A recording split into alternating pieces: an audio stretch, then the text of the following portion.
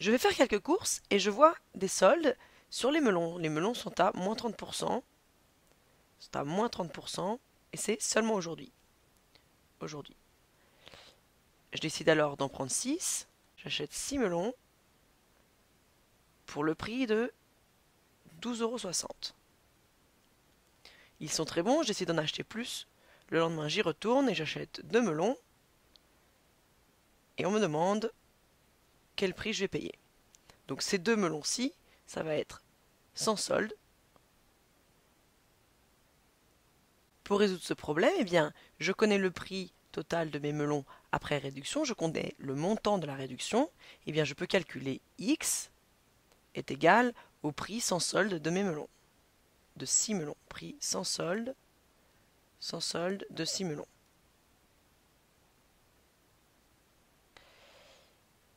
Et en mettant sous forme d'équation les informations dont je dispose, eh bien, ça va s'écrire x, le prix total des melons sans solde, moins le montant des soldes. Donc le montant des soldes, c'est 30% du prix sans solde. 30% de quoi? Eh bien, de x. Et ça, le total, je le connais, c'est 12,6. x moins 30%, c'est aussi x moins 0,3x égal à 12,6. x qu'on peut aussi écrire 1x moins 0,3x, eh bien ça fait 0,7x est égal à 12,6. Je peux diviser par le coefficient de chaque côté maintenant. Donc je divise par 0,7 de chaque côté. Et j'ai maintenant x est égal à 12,6 sur 0,7. Je ne vais pas utiliser la calculatrice, je vais poser la division parce que c'est bien de s'entraîner à les faire, ces divisions. Là, on a 12,6 divisé par 0,7. Pour pouvoir se débarrasser de la décimale, ici, avoir une division un petit peu plus facile à faire, et eh bien on peut multiplier par 10 de chaque côté et décaler ces deux décimales ici, se retrouver avec 126 divisé par 7, qui est plus facile à manipuler, et qui donnera le même résultat.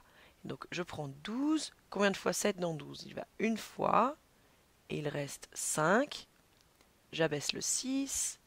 56, et bien c'est 8 fois 7, et il y a 0 reste. Donc j'ai ici x est égal à 18. C'est-à-dire, le prix sans solde de 6 melons, c'est 18 euros. Donc ici, 18 euros.